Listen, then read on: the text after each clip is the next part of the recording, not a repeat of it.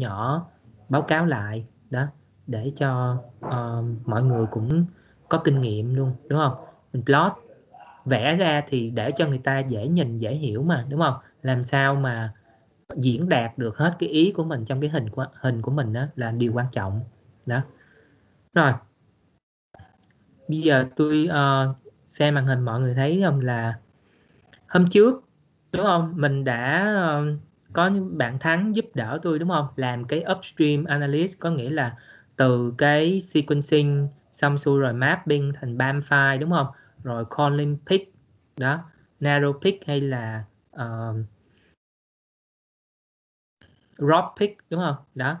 Rồi xong xuôi rồi tôi có làm bài tập là uh, mình có cái pick rồi rồi mình có cái um, uh, chiều dài của cái cái cái cái cái cái uh, cái đoạn của cái pick đó nằm ở trên đầu của genome đúng không? Rồi mình lấy cái sequence nó ra xong xuôi rồi mình call cái tiếp đúng không? Thì có bài tập cũng có bạn um, có bạn Giang oh, Thanh Giang là Giang Thanh nhỉ? nói chung là có bạn Giang giúp tôi um, đúng không Giang hả phải Giang không? Ủa, Thanh hả? Hello sử dụng cái meme đó để calling cái uh, trình tự. Cái mô tiếp đúng không? Uh, vâng cái bài đấy là quốc thanh. À, quốc thanh cảm ơn quốc thanh. À, nhưng mà uh, cần phải làm lại đúng không? Làm sao cho nó trôi chảy hơn? Đó nhưng mà nói chung là quốc thanh làm khá là ổn mà cái bài đó. Thì mình từ cái cái chỗ mà những cái uh, transition factor mà nó binding vô đúng không? Đó mình tìm được những cái chỗ mà nó binding vô cái mình lấy sequence nó ra. Cái mình bỏ vô cái tool meme để cho nó làm alignment để cho nó calling uh, um, mấy cái motif ha? Thì mình được cái motif analyst analysis đó. Thì uh, trong trường hợp của cái bài tập của mình á là mình lại làm một cái nó nó tương đối là nó uh, Ừ, đi xa hơn một tí so với là chỉ có một cái chipset thôi, đúng không? Một cái chipset thì mình sẽ có một cái mô tiếp tại vì ở trên binding size nó đâu phải binding một chỗ đâu mà nó binding nhiều chỗ, đúng không? Nhưng mà cho dù nó nhiều chỗ đi nữa thì cái trình tự mà nó nhận biết á, nó cũng giới hạn vô. Nó giới hạn cái bản thân của cái transfer factor đó, nó sẽ nhận biết cái vùng nào nhất định của nó thôi, đúng không? Đó. Rồi thì ngoài ra làm cái mô tiếp nữa thì đối với lại cái histone modification đó bữa trước là mình làm transition factor thì là mình làm cái mô tiếp tại vì nó nhận biết cái trình tự Pacific ha.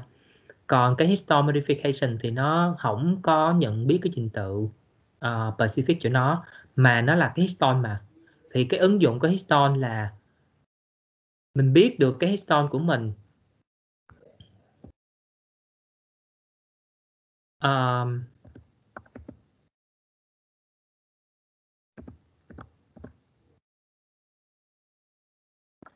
mỗi một cái histone của mình sẽ có một cái uh, ý nghĩa khác nhau. Cái bài histone uh, ví dụ như là cái uh, H3 K2 K79 me 2 hoặc là H3 K36 me 3 đúng không? Là những cái histone mà ở trong cái gene body. Đó. Nó có biểu hiện cùng với cái gene mọi người cũng thấy đây cái gene nè. Đó. Nó có biểu hiện thì cái cái cái này nó ở trong cái uh, ending của cái gene còn cái này nó là nguyên cái gene body luôn cái H3K36M3 đó. Nhưng mà nếu mà bây giờ mình có nhiều cái histone nó cộng lại thì nó có chức năng như thế nào? Đúng không? Đó thì người ta sử dụng cái nhiều cái histone. Thường thì người ta sẽ sử dụng H3K4Me1, H3K4Me3, H3K27 acetin và H3K27Me3 đó thường bốn cái histone đó người ta cộng lại để người ta tìm cái chromatin stay để người ta biết được là ví dụ đây có những cái chromatin stay nè thì uh, ngữ sẽ giúp tôi uh, nói về cái chromatin stay đó ha. Mời ngữ. Dạ xem màn hình ừ. em nói lớn lớn thêm tí xíu để cho mọi người dễ nghe được không ngữ dạ luôn. Nghe được chưa thầy? Rồi đỡ đỡ rồi đó. Dạ. Cảm ơn ngữ thầy thấy màn hình của em chưa thầy? Thấy rồi em. Dạ.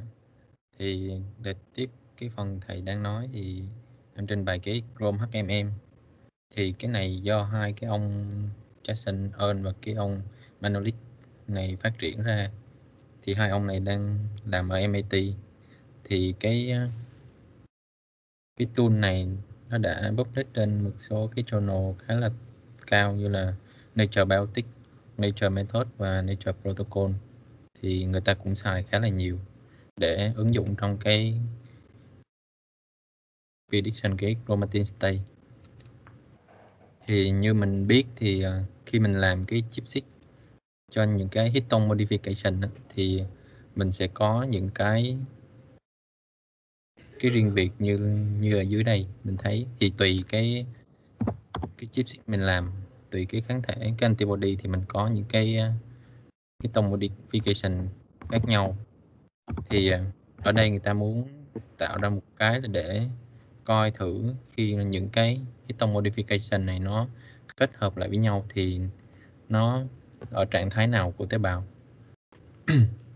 Thì một số cái người ta đã biết như là H3K43 thì nó có pick ở cái vùng promoter hoặc là cái gene activation hoặc là H3K41 thì ở enhancer hoặc là H3K7 acetin thì active enhancer hoặc là promoter và một số cái khác nữa. Thì ở đây là một cái hình nó tóm tắt lại những cái này ở đây mình có thể thấy được là vai trò của từng cái hiton modification. Thì cái hình này lúc nãy thầy có nói qua rồi. Thì à, như bữa giờ mình học thì mình cũng có biết đó là khi mình chạy cái à, chipset của những cái hiton đó thì mình có những cái bit như như cái hình này thì mình có một đống bit luôn. Ở đây thì à, ý nghĩa của nó khi mà combine lại như thế nào. Thì ờ, từ đó người ta mới phát triển ra cái ờ, cái tool này. Và những cái bit của những cái histone modification đó thì ở đây thì người ta gọi là những cái chromatin mark. Và việc kết hợp của những cái chromatin mark đó nó có cái ờ, stay như thế nào thì người ta mới gọi một cái nữa là chromatin stay thì cái việc kết hợp của những cái mark này nó tạo ra cái state này là bằng cách nào thì ờ, người ta phát triển cái tool đó? Thì ở đây em có giới thiệu sơ qua.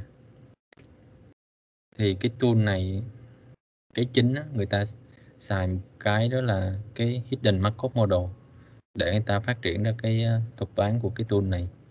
Thì ờ, cái hidden Markov model thì là một cái thuật toán mà khi người ta biết cái ờ, một số cái outcome ra, như là ở đây là mình có những cái histone mark, nhưng mà thực ra mình không biết cái ờ, cái probability là cái tần suất xuất hiện của nó trong cái cell như thế nào. Thì ờ, người ta mới thấy là trong cái quá trình transcription này thì nó tương tự như cái cái model này, nên người ta mới nghĩ tới việc là ứng dụng cái model này để phát triển ra cái thuật toán mà để dự đoán cái chromatin state dựa trên những cái ờ, chromatin mark. Thì ở đây là một cái hình tóm tắt. Ở đây là mình thấy là như là cái DNA của mình, nó có nhiều cái vùng khác nhau như là enhancer hoặc là gene star hay là TSS hoặc là vùng promoter hoặc là cái vùng transcript.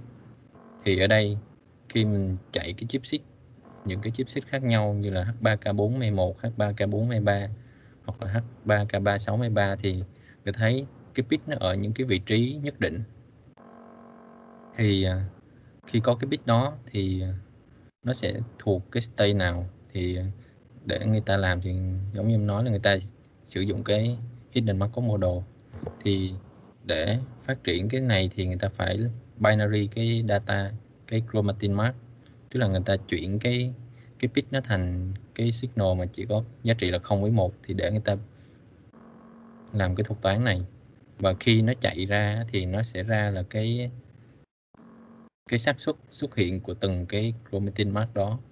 Và khi mà kết hợp những cái protein mark đó thì cái cái xác suất xuất hiện đó, khi mà mỗi cái kết hợp thì nó có một cái xác suất nhất định. Và từ cái xác suất đó thì người ta mới ra một cái mô đồ cuối cùng để mà dự đoán.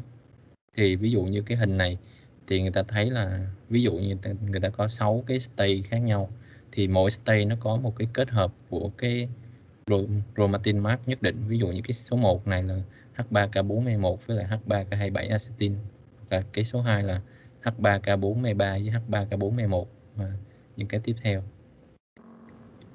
Thì à, kết quả của cái à, thuật toán này nó nó tìm ra thì thật ra nó chỉ, khi mà mình đưa vô cái input là cái state à, cái chromatin mark như là cái của cái à, CTCF hoặc là những cái histone modification ở đây.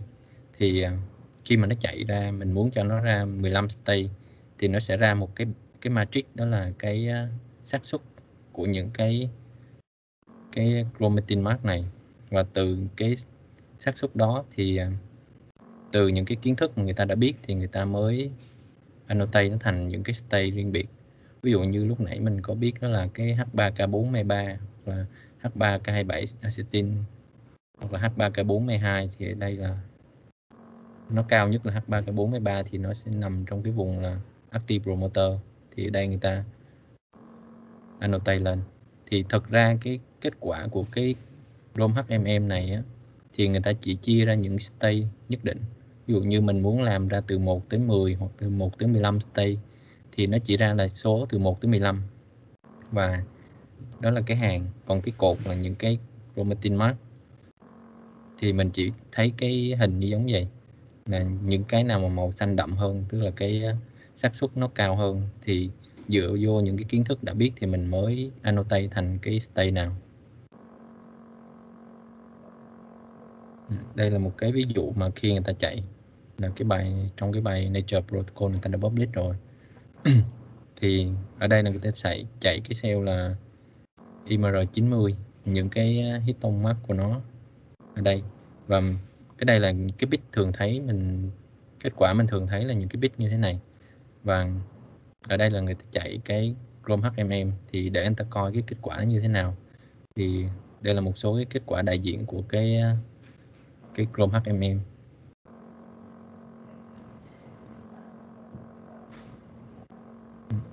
đây là một số cái ví dụ mà người ta chạy ở cùng, người ta sâu ở cùng một cái vị trí, cái gen là WLS ở trong nhiều cái cell khác nhau. Như đây là những cái cell, embryonic stem cell, những cái dòng khác. Thì người ta thấy là những cái cell khác nhau thì chromatin state nó khác nhau. Ở đây là họ có ghi cái bảng màu là, từng cái màu là từng cái state khác nhau. Thì mình thấy là những cái cell line khác nhau thì chromatin state nó khác nhau. Thì ở đây người ta dùng cái Chrome HMM thì người ta cũng biết được cái cell type specific của những cái histone modification. Ở đây là những cái histone mark mà người ta upload lên cái UCSC và cái ờ, data thì là cái row map hoặc là cái encode. Thì cái màu này thì thật ra nó do người ta quy định dựa trên cái data của người ta. Còn nếu mình làm cái data của mình thì mình phải tự quy định lại cái màu và cái state của mình.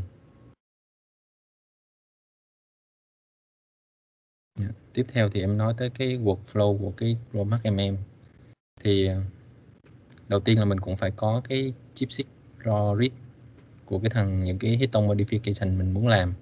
Sau đó mình cũng phải alignment lên cái reference genome và sau đó mình sẽ có cái BAM file. Thì từ cái BAM file mình có thể tạo thành những cái bed file. Và từ cái bed thì mình phải tạo thành những cái file là binary, là chỉ có giá trị là 0 với 1 thôi. Sau đó thì mình có thể xài cái file này để mình learning cái model, và từ đó mình sẽ infer cái state và mình interpret cái data của mình. Thì à, những cái cần thiết cho cái Chrome HMM thì cái tool này nó khá là đơn giản. Thực ra mình chỉ cần download cái à, cái zip file sau đó mình in zip và mình có thể chạy được luôn rồi mình không làm gì hết. Thì cái này nó chạy trên Java. Thì cái link tải của cái cái tool này nó nằm ở đây. Và một số data mình có thể download mà người ta có đưa lên là ví dụ như cái encode project. Thì ở trên này nó có rất là nhiều data và người, người ta cũng làm Chrome HM cho hầu hết những cái data người ta có rồi. Mà nếu mà mình muốn sử dụng cái data này để mình làm cho những cái ờ, phân tích khác của mình thì mình cũng có thể lấy và mình làm lại được. Thì ờ, nếu mà những cái raw data mà cái, ví dụ như trong lab mình tự làm thì hoặc là mình lấy ở trên những cái bài báo mà nó chưa có sẵn, thì mình có thể từ cái raw data mình align align mình và mình có thể tự làm những cái phía sau. Như là bữa trước giờ mình có học như mình xài bow tie hoặc là BWA để mình alignment và sau đó mình xài bed tool để mình chuyển từ BAM file thành bed file. Và sau đó mình sẽ làm những cái bước tiếp theo. Thì à, cái thuật toán chính của cái Chrome HMM này là cái lên model comment thì cái này nó sẽ ra kết quả cho mình. Thì, nhưng mà trước khi mình lên được model thì mình phải có được cái binary file là chỉ có giá trị là 0 với 1 thôi. Thì để có cái binary thì mình có thể làm từ cái BAM file hoặc từ bed file thì ở đây nó sẽ có hai cái comment để nó làm được hai hai cái việc đó luôn. Thì tùy mình mình muốn làm từ cái format nào cũng được. Thì ở đây em sâu lại cái quy trình người ta làm. Thì đầu tiên từ phát file mình phải alignment thành BAM file và từ BAM file thì mình có thể làm cái binary luôn, hoặc là mình chuyển qua bed file bằng bed tool. Thì đây là cái cái comment mình có thể xài trong bed tool. Thì từ cái à, BAM file hoặc bed file thì mình phải tạo thành những cái bin, là những cái đoạn trong cái genome và mình tạo thành những cái binary. Thì cái à, default của cái tool này thì là, cái bin là 200 nucleotide thì mình có thể đổi cái giá trị đó.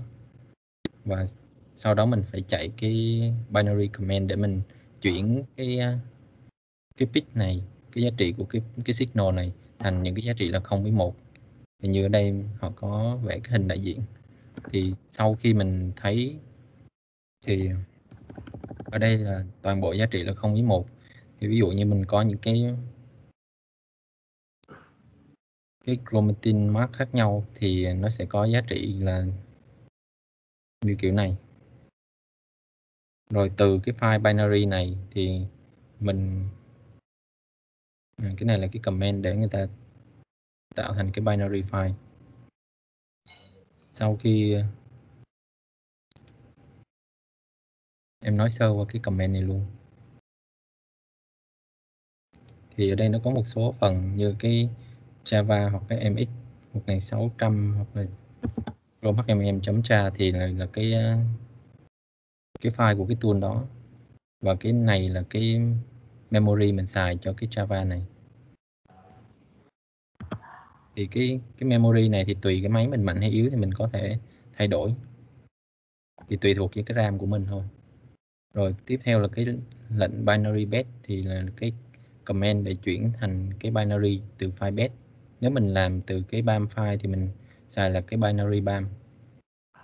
Tiếp theo là cái chỗ này thì cái Chrome size, ví dụ như ở đây người ta, trước đó người ta map tới cái HJ18 thì ở đây mình cũng chọn cái Chrome size là HJ18 thì trong cái tool này khi mình tải về thì nó sẽ có sẵn những cái Chrome size.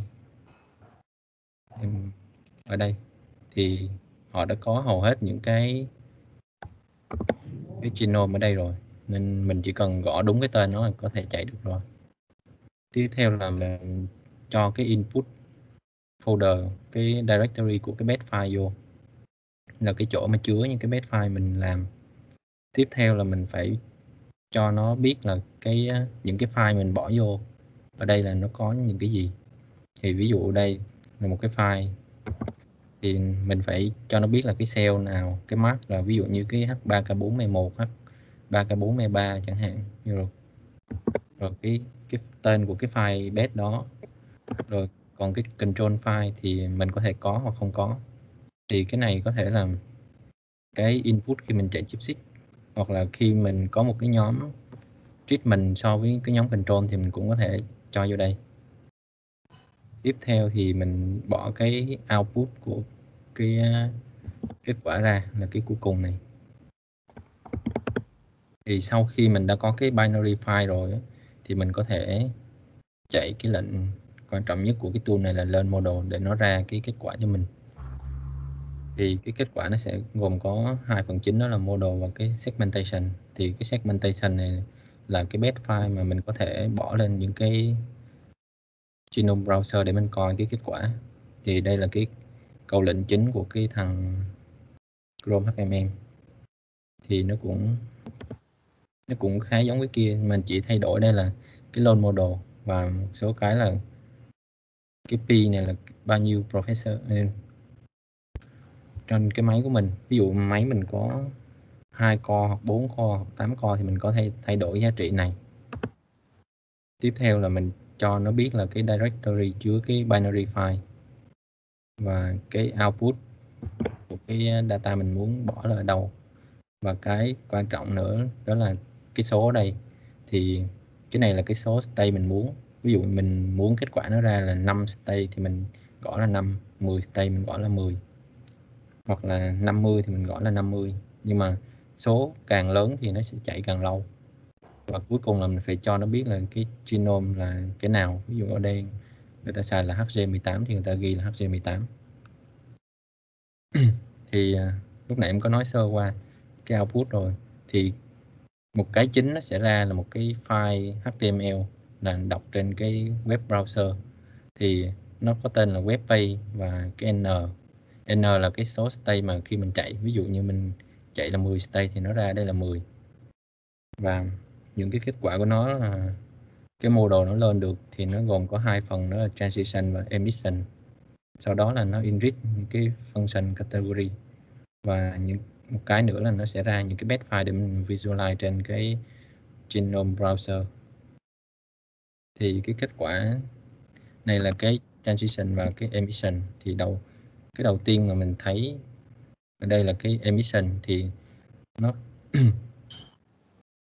cái kết quả nó gồm có là cái, những cái cột ở đây, ví dụ 1 2 3 4 5 6 7 8 9 10 là những cái cái stay mình muốn nó chạy ra và những cái column là những cái ờ, hit tông mắt mà mình bỏ vô để nó chạy. Ví dụ như H3 K36 M3 H4 K20 M1 chẳng hạn.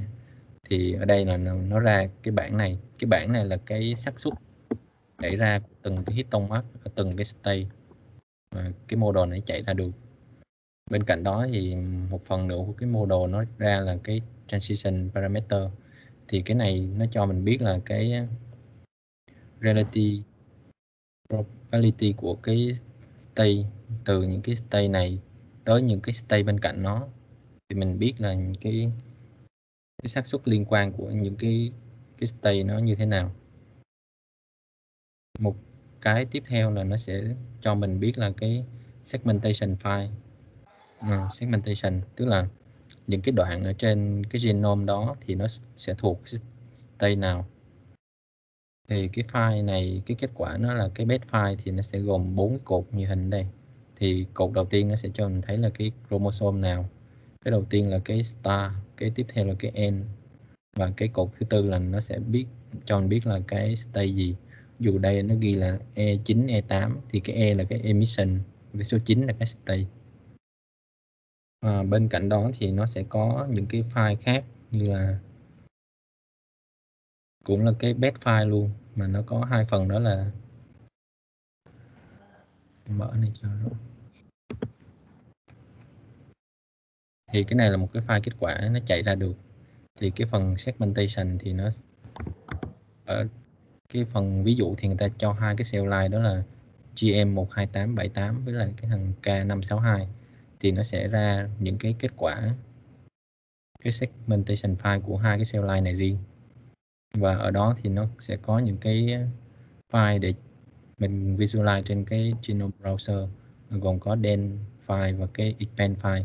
Thì ở đây thì cái den file thì nó sẽ cho mình biết là à, nó chỉ có một cái chắc duy nhất thôi là nó sẽ tổng hợp lại những cái chromatin mark mà mình thấy. Còn cái expand thì nó sẽ sâu hết từng cái ờ, chromatin mark trên từng cái chắc khác nhau. Để mở cái này luôn cho dễ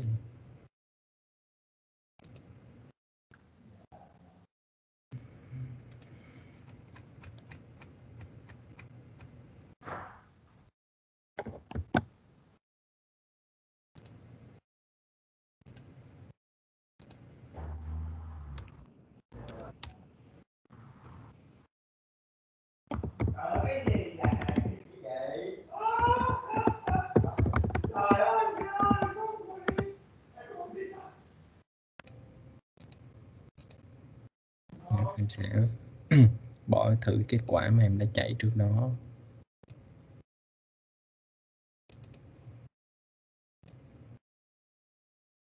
Thì lúc nãy em có nói là nó sẽ ra một cái file segmentation chung ví dụ đây.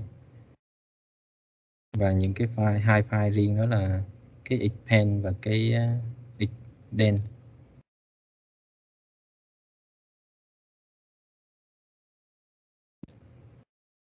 thì mình muốn coi mình cứ lôi mình bỏ vô thôi. Thì cái ví dụ này họ chỉ chạy trên Chrome, chromosome 11 thì mình chọn đúng chromosome 11 thì mình mới thấy được cái giá trị của nó. Thì ở đây là cái file mà đã chạy ra được. Thì cái ở trên cái track này là cái cái segmentation mà đen tức là nó sẽ kết hợp tất cả những cái protein mark trên cùng một cái track luôn. Thì mình thấy nó nó có nhiều màu ở đây. Còn ở dưới là cái expand thì nó sẽ chia riêng ra từng cái dòng này là từng cái chromatin mark khác nhau.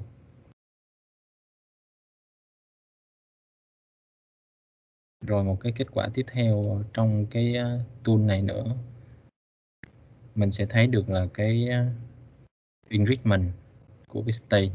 Thì cái kết quả này nó sẽ cho mình thấy là cái phần trăm của cái, những cái genome region nó nằm ở từng cái state khác nhau.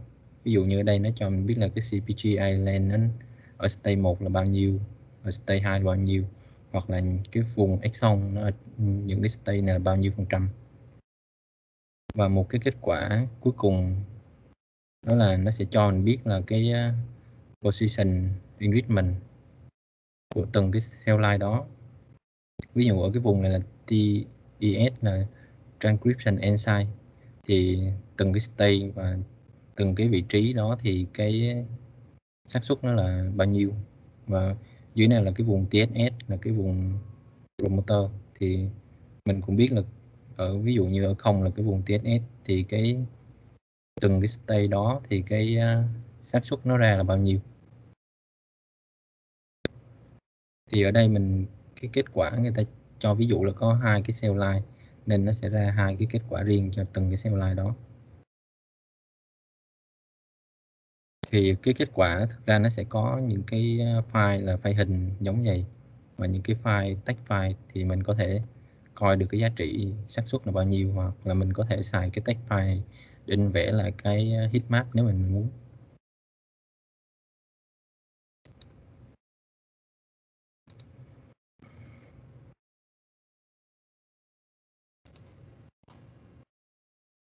Thì ngoài ra ở đây thì nó cũng có một số cái ờ, cái lệnh khác để làm một số chức năng khác như là để compare những cái model khác nhau lại với nhau. Hoặc là mình từ cái à, kết quả mình ra được thì mình tự tạo cái file để mình visualize. Hoặc là mình muốn enrichment lại những cái vùng của genome thì mình có thể chạy lại bằng cái lệnh này. Hoặc là mình enrichment cái position lại mình coi. Và một cái nữa mình có thể xài là cái lệnh reorder như cái kết quả đầu tiên mình thấy là mình chỉ thấy là được cái stay, ví dụ nó đánh số từ 1 tới 10 và những cái tông mát này. Nhưng mà mình không biết cái stay này là cái gì hết. Thì như em nói lúc đầu á, là thực ra cái này là mình tùy vô kiến thức của mình. Mình biết là ví dụ như H3K4M3 là cái promoter H3K4M1 là enhancer. Thì mình phải biết là kết hợp đó nó là cái gì. Sau đó mình mới annotate cho từng cái stay này thì mình, kết quả nó ra là chỉ có số thôi, mình phải labeling nó lại bằng cái lệnh này. Thì, em cũng có làm thử ở đây bằng cái cái lệnh đó. Ví dụ như mình có cái stay 1 thì mình thấy nó, cái pick nó giống như cái promoter hoặc là with promoter thì mình có thể đặt tên giống vậy. Thì sau khi mình chạy cái lệnh này thì nó sẽ ra cái kết quả là nó sẽ có cái à, stay trên cái hình luôn. Dù đây là kết quả em, sau khi em chạy, thì nó sẽ có số là cái stay và cái tên mà mình muốn đặt. Thì cái này thật ra là mình phải biết nhiều thì mình đặt nó mới đúng được, chứ không phải là nó có sẵn.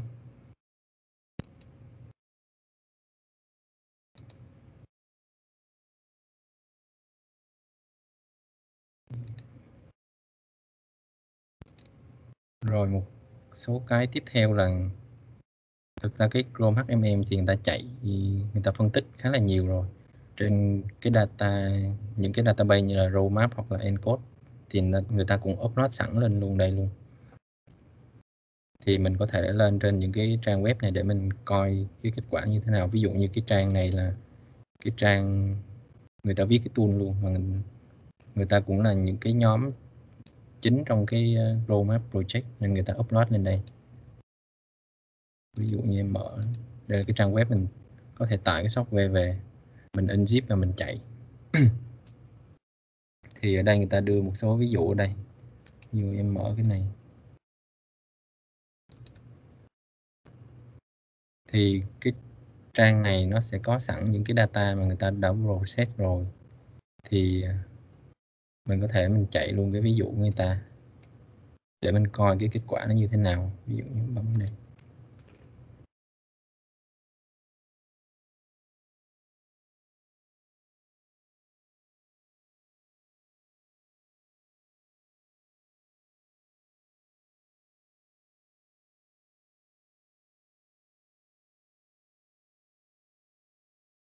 hoặc là mình cũng có thể coi cái data trên cái ờ, genome browser của cái UCSC thì từ cái ờ, genome browser này mình có thể lấy những cái track mà nó có chứa data của cái ờ, Chrome HMM ví dụ mình mình click vô cái track hub này để mình lấy, mình load cái data. Ví dụ như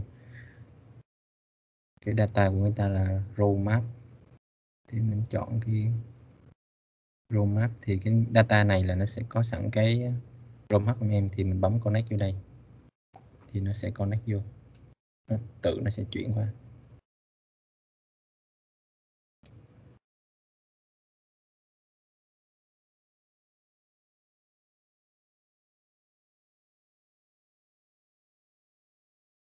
Dạ, đây là một số cái ờ, cell line người ta đã chạy rồi. Ví dụ như cái IMR90 thì đây là một số cái histogram mark của nó. Còn đây là cái à, chromatin state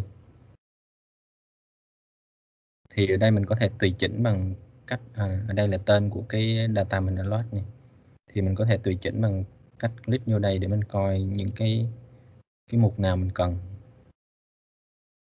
Ví dụ như ở đây là nó sẽ hiện hết lên luôn là cái Chrome HMM hoặc là những cái chromatin mark đây sau khi chọn xong mình bấm submit thì mình sẽ thấy giống nãy.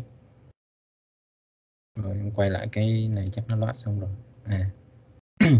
Thì cái lúc nãy em bấm thì chờ một hồi nó mới ra tại vì cái này nó load nhiều cell quá nên nó hơi chậm. Thì đây người ta có hết luôn những cái hit tông mắt của những cái hầu hết là những cái một trăm hai mấy cell trên cái cái roadmap đó, thì nó có cái chromatin state ở đây. Thì thực ra cái phần này mình chỉ lấy để mình tham khảo hoặc là mình đối chiếu khi mình chạy những cái mẫu của mình, hoặc là mình lấy cái data từ roadmap hoặc là encode để mình làm control cho những cái mẫu mình cần làm, thì mình có thể so sánh với cái, những cái data này bên cạnh đó thì nó còn một số cái khác nữa, như là của cái Washington University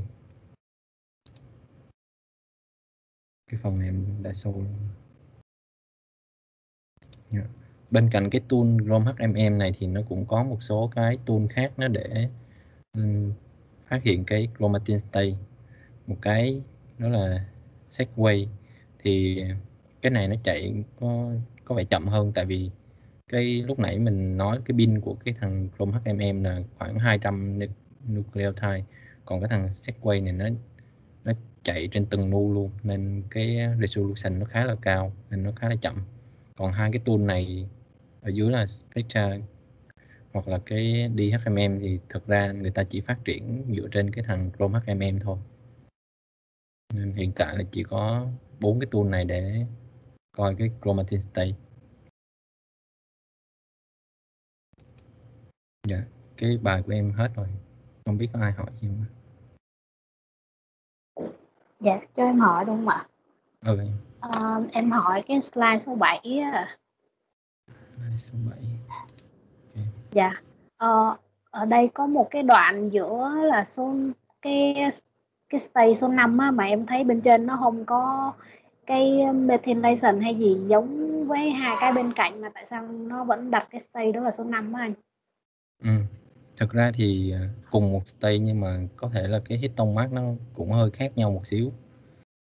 Thì à, cái này là dựa vô cái cái mình hiểu biết thôi. Ví dụ những cái như ở trong cái transcription thì nó có những cái mark như là H3K3 63 thì bên này nó cũng là H3K3 63 thì mình phải biết những cái kiến thức này, mình mới biết được là nó nằm trong cái vùng nào. Thì người ta cũng có nói là trong cùng một state nhưng có thể hit tông mát nó hơi khác nhau một xíu, chứ không phải là hoàn toàn giống nhau. Mà mình phải biết được những cái đó thì mình mới assign cái annotation nó đúng được thì ví dụ như cái hình này mình thấy là nó có đúng 15 stay luôn. Một số hàng thì nó có giá trị. Mình thấy màu xanh ở đây, một số cái này có màu khác nhau. Ví dụ như cái transcription, translation này thì mình thấy một số cái như là H3K63 là giống như cái hình lúc nãy vừa sâu cái uh, elongation nó cũng có cái mắt ở H3K63 còn cái stay số 11 này nó không có cái signal nó nó có một số nhưng mà nó khá là thấp thì nó ở cái vùng là with transcript. Thì nó cũng là transcript hết nhưng mà cái hit tông mắt nó hơi khác nhau. Thì mình phải biết được nó là cái gì. Thì cái này thực ra nó tùy cái số lượng stay mà mình muốn chạy nữa. Ví dụ như ở đây mình chạy 5 cái chỉ chạy 5 cái thì có thể nó gom ba cái này lại là một luôn. Em hiểu không em? Dạ dạ, dạ rồi. À, cho em hỏi tiếp cái hình đó luôn ạ. Ừ. um, cái hình số 7 à okay. cái slide số 7 à cái góc cái cái góc bên phải ở bên dưới là hình đó là như thế nào? Anh có thể giải thích được không ạ? À, cái hình này thực ra người ta muốn giải thích lại cái hidden Markov model. Thì cái hidden Markov model là nó gồm những cái giai đoạn khác nhau. Mà từ những cái giai đoạn này nó sẽ tiếp theo những cái giai đoạn khác. Và để người ta phát người ta muốn coi là những cái này nó connect với nhau như thế nào thì người ta phải tính được cái xác suất của từng cái ví dụ như cái số 5 tới cái số 4 là xác suất bao nhiêu cái số 4 tới số 3 xác suất bao nhiêu cái số 4 tới số 6 xác suất bao nhiêu. Thì khi mà người ta tính được hết cái những cái xác suất đó thì nó sẽ ra một cái matrix giống như cái hình lúc nãy vừa sâu thì dạ. cái matrix cuối cùng đó thì người ta mới xây dựng được cái model như cái này. Thì đó là cái thuật toán của cái hidden Markov model để người ta làm ra cái này dạ. À, cho em hỏi cái slide số 17 nữa ạ. Cái này cái cái số binary ở bên phải á, là có nghĩa là ví dụ như là mình có 15 state đi thì nó sẽ có tổ hợp 15 cái số binary như vậy hả anh hay sao ạ? Đúng rồi, nó sẽ có thực ra nó sẽ có 15 cái binary khác nhau của cái um, 15 cái uh, cái tông mát khác nhau. Và những cái vùng thì người ta sẽ chia ra cái genome mình thành những cái pin ví dụ như là 200 nu. Thì mỗi cái 200 nu nó sẽ có một cái value khác nhau. Ví dụ như 200 nu đầu tiên là một 200 nu thứ hai là không 200 nu tiếp theo là một. Em hiểu không em? Dạ không ý em muốn hỏi là ví dụ như cái cột đầu tiên là có ba cái ô ba à, quên có năm cái ô vuông. Thì cái năm cái ô vuông ừ. đó là đại diện cho một state hả anh? Hay là năm ô vuông đó đại diện cho năm state à cái này nó chưa ra state em. Nó chỉ là binary cái cái data của mình thành những cái giá trị thôi. Ví dụ như cái hàng ngang là mình sẽ có là cái genome nha. Ví dụ nha. Hàng ngang là cái genome yeah. Dạ. còn hàng là từng từng khúc từng khúc này này ví dụ như binary cái này là 200 nu cái này 200 nu cái này 200 nu. Thì từng cái hàng này nó sẽ là những cái uh, histomark đó khi mà ta binary ra là cái cái stay là nó đọc theo hàng hàng hàng ngang chứ không phải đọc theo hàng dọc hả anh? À, cái này nó chưa phải stay em. em. Ví dụ như mình à, để nói sao dễ nhỉ? Ví dụ như mình có cái bit ở đây nha. Anh ví dụ thôi, tại cái số dạ. thực ra nó phải theo cái thuật toán nó ra. Ví dụ như mình có cái cái, bit ở đây thì nó sẽ ra là số 1. Còn nếu cái vùng không có bit nó ra số 0. Còn những cái tiếp theo không có bit nó cũng là số 0. Tiếp theo từ cái vùng này có bit nó sẽ ra số 1 em hiểu không nó sẽ ra một cái file chỉ có số 0 với 1 vậy thôi và Dạ. cái này cũng giống vậy luôn những cái histogram map thì nó cũng ra y chang vậy thì nó sẽ kết hợp tất cả những cái này lại với nhau và nó chạy một lần thì nó sẽ ra cái model À, dạ. Dạ, dạ rồi, cảm ơn anh. Ừ. À, em có thắc mắc nữa là ví dụ như là người ta có um, một cái gì?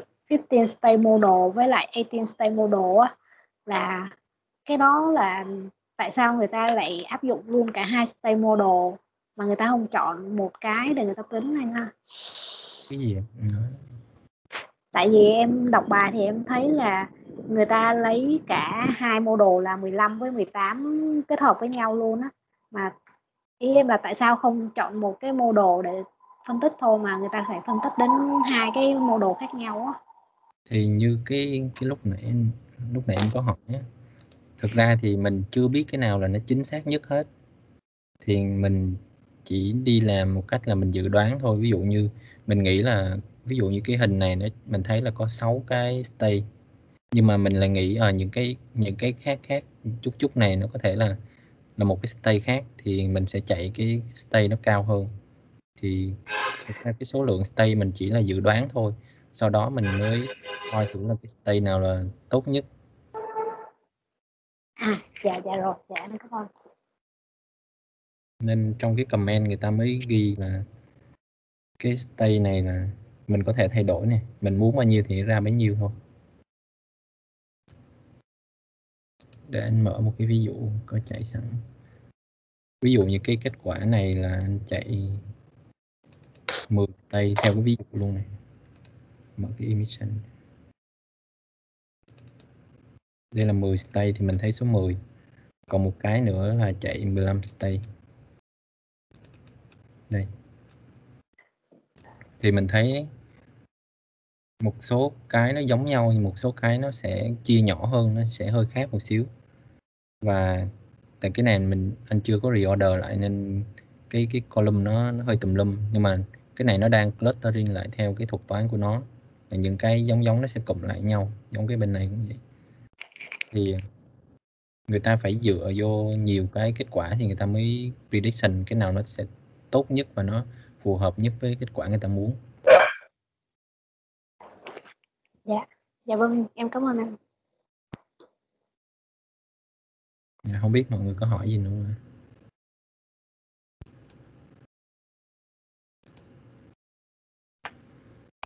mọi người có hỏi gì không mọi người?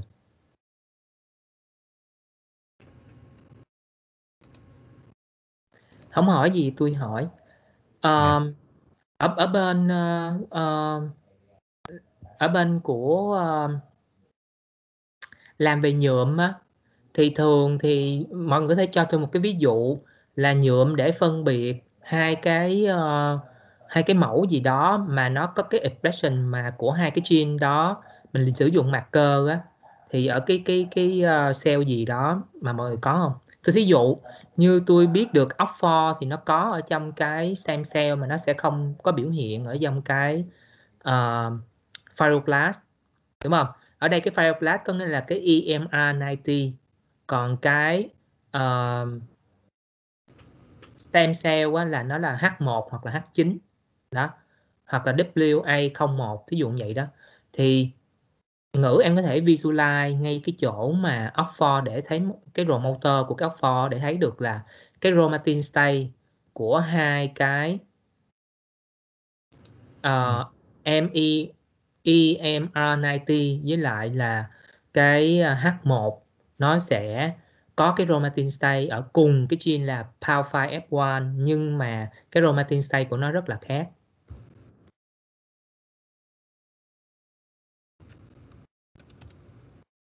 File F1 đúng rồi. Em tắt mấy cái ờ, histogram histone map của đây, chỉ cần mở cái ROM XMM để mình so sánh của hai cái ROM XMM đó, để cho người ta thấy được là để lấy cái xeo khác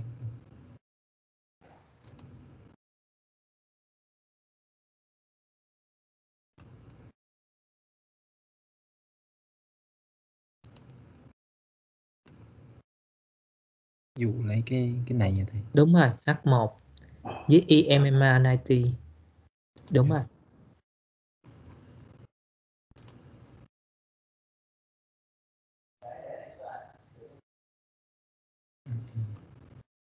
Sao nó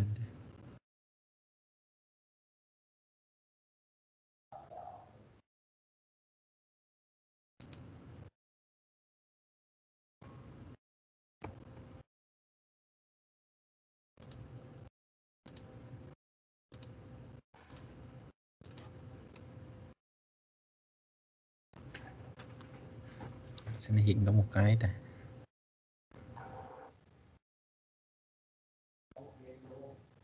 em em em em phải full nữa em chứ em làm cái dance dance nó nó cần dance lại Dạ.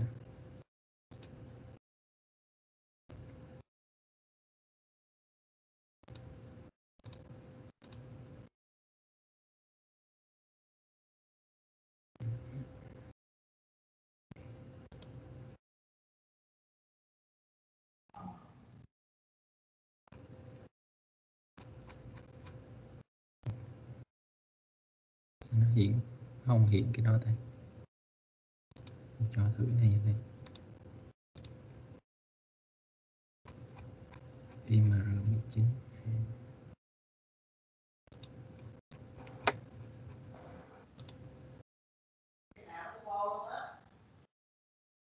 Ừ. Sao nó không ra đây em bỏ cái track uh, ờ, em click vô trong cái track mà lân cái gì đó em click vào đó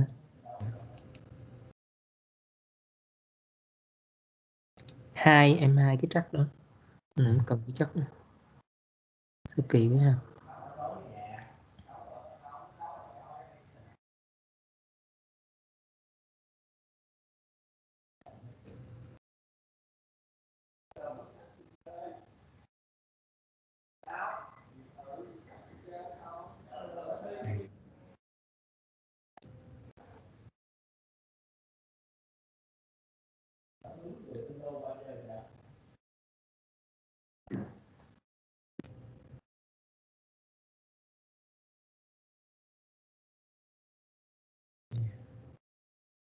Sao nó không hiện mấy cái cell kia ta? kỳ quá ha sao bình thường tôi làm thấy ok mà Chắc cái data này nó nặng quá nó bị gì. Em sao thử bên này coi. ừ.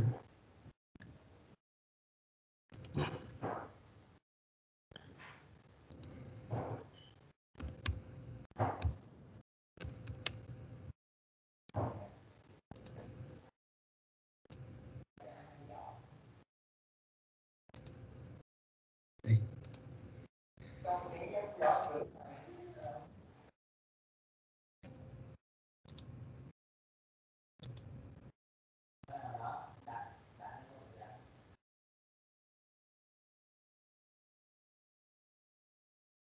Về cái nhuộm thì em biết là như trong u não thì nó uh, người ta hay nhuộm cái H3K9 me3 thầy thì cái thường là nó sẽ tăng methylation mà liên quan đến ờ, IDH mutation hoặc là trong cái u, u thần kinh đệm ít nhánh mà người ta thấy là nó sẽ có cái cái cái cái này chỉ muốn coi cái gene thôi chứ không có coi cái Ờ. histone tại cái histone nó đã trộn chung lại hết rồi Dạ, dạ. Gene này nó bị sao thì đem tắt mở lại thử.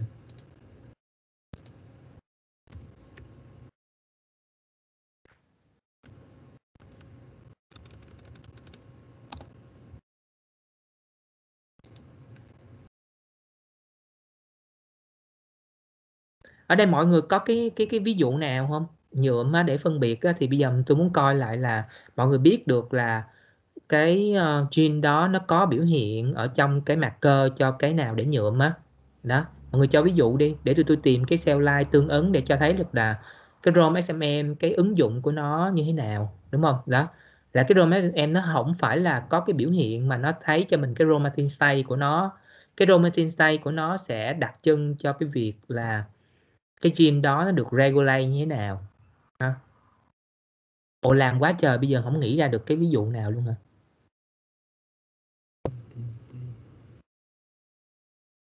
Um có cái uh, bên bên em là hồi đó em không có làm nhuộm nhưng mà bạn em hồi đó nhuộm á thì có xài là TMM 119 á thầy là để uh, marker cho thằng microglia microglia là tế bào ở trong não.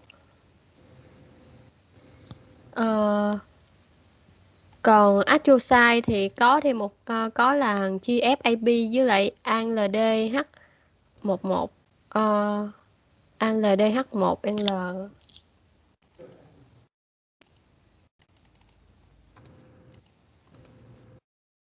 H1N1 em chào chị dạ à, dạ.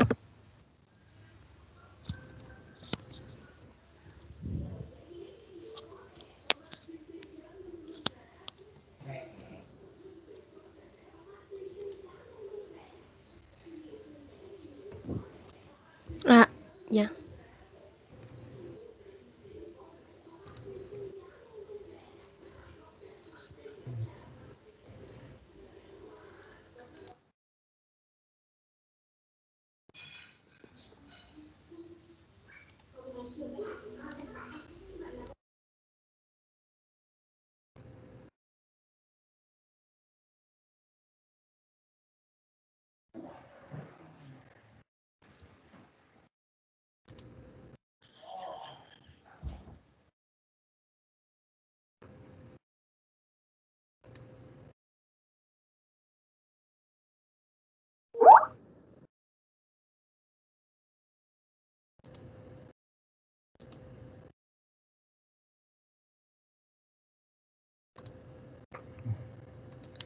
Sao nó chỉ hiện mỗi cái này ta?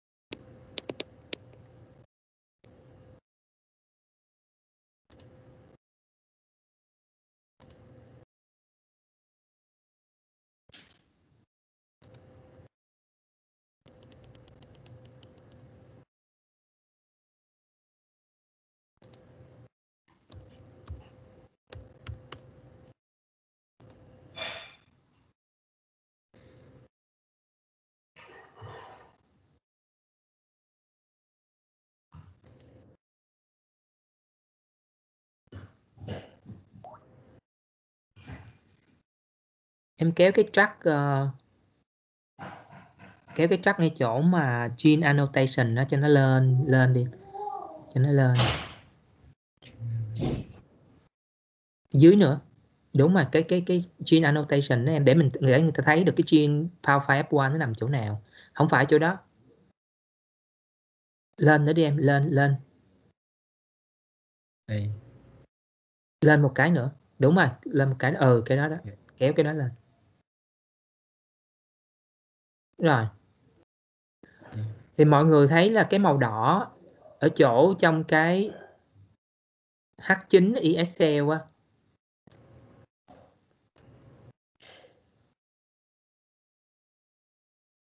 Em thử cho nó full ra để mình biết được cái màu đỏ nó là cái cái gì em rê con chuột vào chỗ đó mình mới thấy được là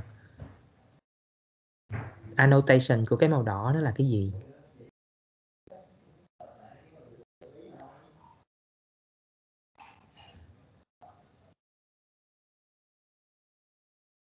Nó cái màu xanh lá cây nó là cái gì? Cái màu đỏ nó là cái gì vậy? Ngữ tư không màu không nhớ. thường là cái active promoter này đúng rồi.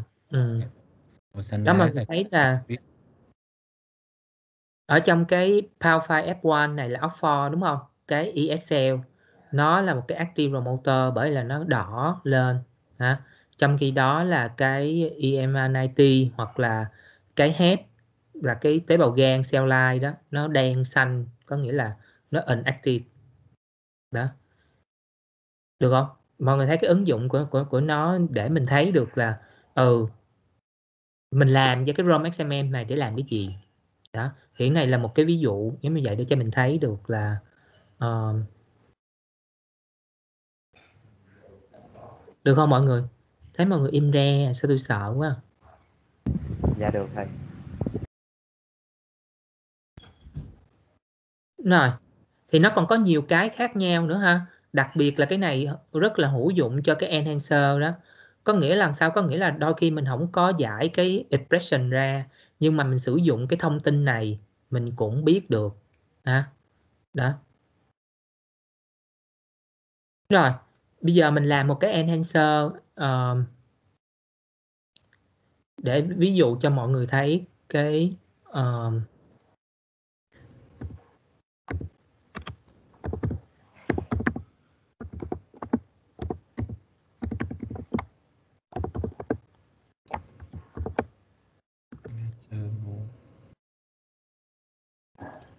vùng này nè thầy.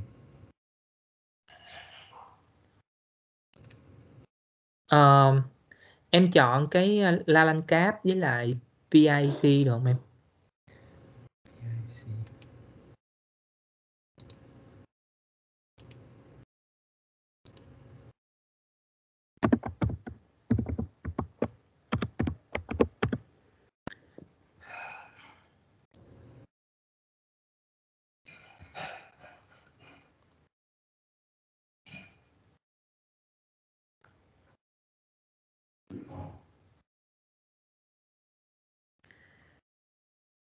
Trong cái roadmap này nó không có lên cáp ừ. vậy thì uh...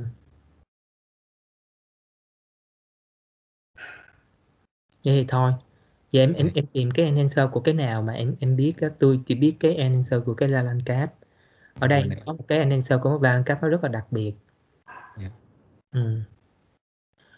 rồi mọi người và lúc nãy nó có của cái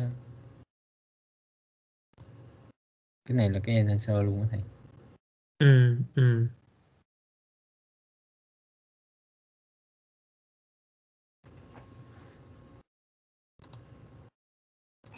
Rồi. Mọi người có hỏi gì nữa không?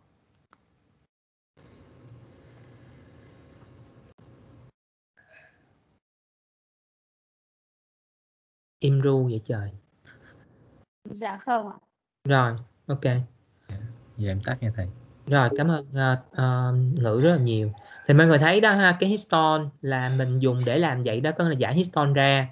Thì mình có được cái histone 21 mọi người nhìn lên người ta nói cái ROM SMM đó người ta nói đâu là enhancer ở đâu là promoter đó thì mọi ở đâu là mấy cái uh, uh, heterochromatin đổ này kia thì mình cũng biết được là tại sao nó có cái đó được không? À, đọc cái bài đó để mình hiểu được là người ta đã giải hết mấy cái chipset của mấy cái histone xong xuôi rồi người ta chọn cho ROM SMM tại sao mình phải biết như vậy? Tại vì là mình học cái bài DNA sequencing rồi đúng không? DNA seq rồi. Bây giờ nếu mà cái đột biến đó nó nằm ngay trên cái gene đó thì mình còn hiểu được là nó ảnh hưởng như thế nào đúng không? Nhưng mà giờ đột biến nó nằm ở trong cái enhancer nó nằm ở trong cái vùng nào đó mình không biết. Nó không nằm ở trong cái vùng có gene. Đó. Mà bây giờ mình không biết cái cái cái mấy cái chipset này thì mình đâu có giải thích được. Đúng không? Đó mình không có giải thích được. Thì cái cái cái epigenetic á, sinh ra cái nghiên cứu này để giúp cho mình giải thích được mình hiểu được những cái tác động của những cái đột biến. Đúng không? Đó. Những cái đột biến mà nằm ở trong gene thì là dễ hiểu nhưng mà chưa chắc dễ hiểu đâu. Để một lát tôi sẽ nói tiếp là có nhiều nhiều cái là mặc dù nằm trong chain chứ mình cũng giải thích không có được. Đó, mà bây giờ nó không nằm ở trong chain nữa thì làm sao giải thích? Thì mình phải nhờ mấy cái epigenetic này giải thích, ha? Đó. Rồi, cảm ơn ngữ rất là nhiều. Bây giờ tôi lại tiếp tục xem màn hình.